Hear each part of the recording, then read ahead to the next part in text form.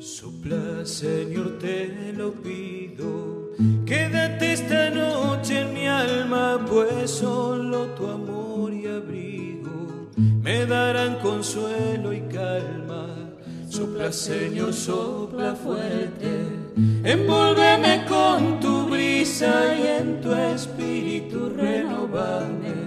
Hazme libre en tu sonrisa a pesar de mis caídas, hazme fiel a tus promesas.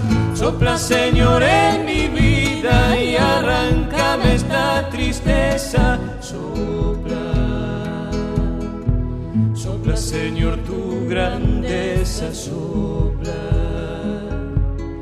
hazme fiel en mi pobreza.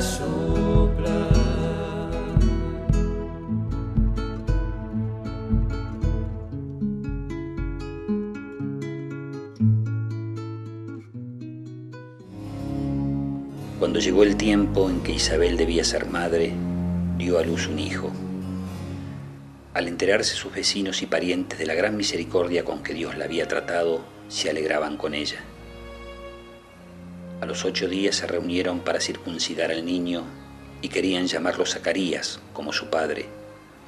Pero la madre dijo, no, debe llamarse Juan. Ellos le decían, no hay nadie en tu familia que lleve ese nombre. Entonces preguntaron por señas al padre qué nombre quería que le pusieran. Este pidió una pizarra y escribió, su nombre es Juan. Todos quedaron admirados y en ese mismo momento Zacarías recuperó el habla y comenzó a alabar a Dios. Este acontecimiento produjo una gran impresión entre la gente de los alrededores y se lo comentaban en toda la región montañosa de Judea. Todos los que se enteraron guardaban este recuerdo en su corazón y se decían, ¿qué llegará a ser este niño? Porque la mano del Señor estaba con él.